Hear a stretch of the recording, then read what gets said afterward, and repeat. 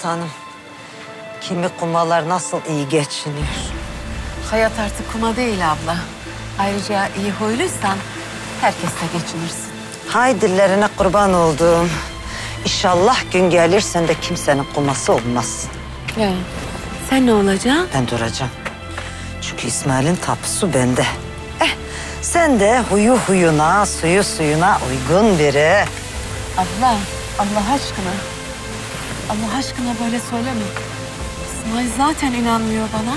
Ya Yanlış şeyler düşündü hep. benim şahitliğim de işe yaramadı. Abla sen bana vallahi da billahi da yok böyle bir şey dedin mi? Demem mi? Ben senin için neler yaptım kız. Abla, Allah için söyle.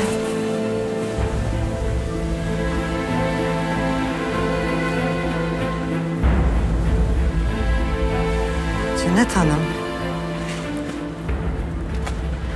Dün gece sen bana ne dedin? Senin de ömrün böyle geçti.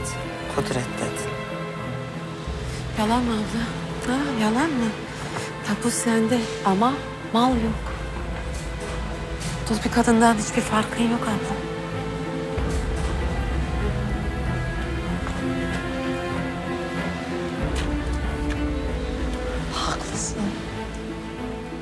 Yardımlarınız için teşekkür ederiz Berat Bey.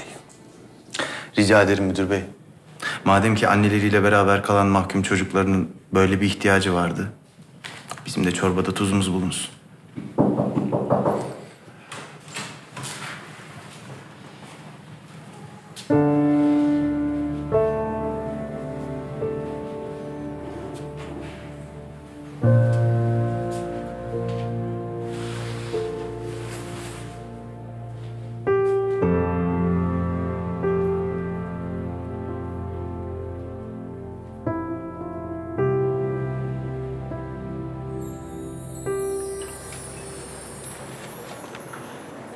Benim okumam yazmam yoktur. Bunları bana Berat okur.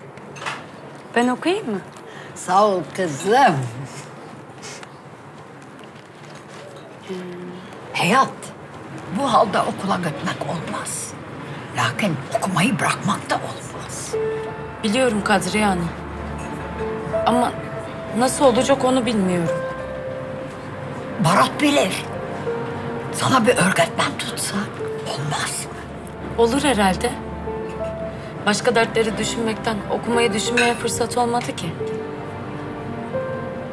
Neymiş o başka dertler de hele. Bir anne olacağım. Bir bebeğim olacak. Bu yaşta bu nasıl olacak? Çok yalnızım. Çok korkuyorum. Bir çaresine bakacağız artık. Hadi oku önündekini ne yiyeceğiz söyleyin.